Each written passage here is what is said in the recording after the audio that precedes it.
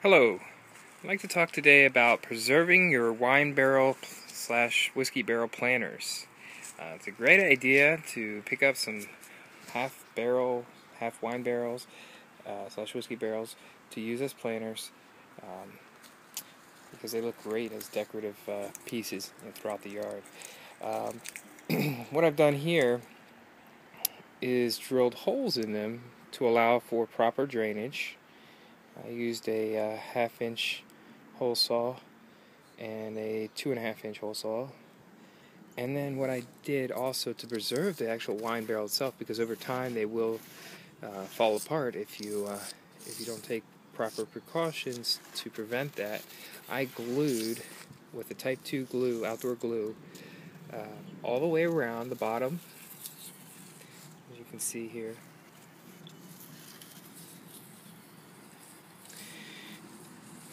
And inside I actually took the time and glued and dropped some glue in, in the cracks to hold these uh, slats together because they will come apart if you're not careful. Um, and then eventually what I'll do with this barrel is I will polyurethane or you can use an outdoor paint. I use outdoor polyurethane uh, clear coat, it's just my preference. I polyurethane the bottom side of this because if it's going to sit on the ground, I put a couple coats on too. If it's going to sit on the ground, it will eventually rot. Um, also, I polyurethane the inside of these to allow um, extra added protection.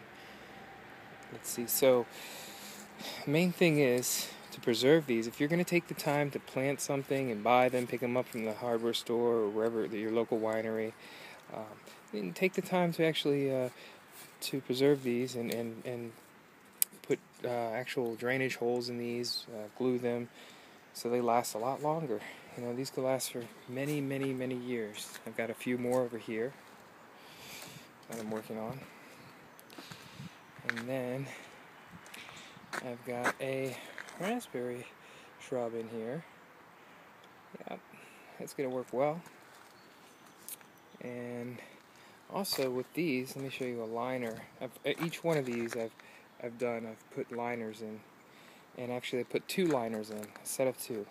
So the first liner that goes in, you'll end up putting a bed of rocks on top of that liner, and then you put a second liner in, and then of course you put the soil in and then plant your plant.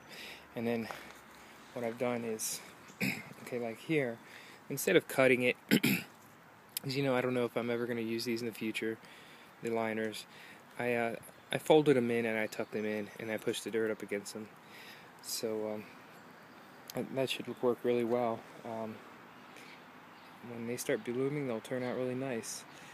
We've got a fruit, fruit trees here that eventually I'm going to plant um, somewhere throughout the yard and, and make use of them. Let's see what this one is. This is a peach tree. Yep, and you know the idea behind this is to make use of something, recycle a wine barrel, uh, you know, and turn you're helping the environment and you're making something that'll turn out really nice. Yeah, so stay tuned for the next videos. I'll actually be working on uh, gluing the slats for those wine barrels over there and polyurethaning the bottom side and the inside. Um, you could polyurethane the outside. I do use a clear coat outdoor polyurethane. Um, it'll darken the wood, but I kind of like the rustic look and I don't think it's going to make that big of a difference over time. Uh, I don't think it's going to degrade the wood as much uh, versus having the water sit inside. I think is the uh, is the culprit of, of, of, the wine barrel, wine slash whiskey barrels, uh, you know, degrading and falling apart. So try to, you know, if you're going to take the time, like I said, to pick these up from your hardware store or local winery, take the time to preserve these properly drill the holes in them so your plants have proper drainage so that the water doesn't sit there and rot out the wood inside and or if you have the once you get the polyurethane, you can also that'll help prevent rotting. And um, yep, good luck and uh, stay tuned for the next upcoming videos uh, on how to preserve wine barrels slash whiskey barrels and make beautiful decorative pieces throughout your yard.